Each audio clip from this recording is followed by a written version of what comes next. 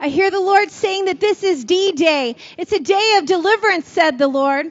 Many of you have been intimidated by the enemy, but I would say to you tonight that greater is he that is in you than he that is in the world. Rise up in this strength and the anointing that I put within you, that I put upon you, that inside of you, says the Lord your God. He says, for you will even be like David. D-Day, says the Lord. Be bold, be strong, be courageous in the anointing that I put within you, says the Lord.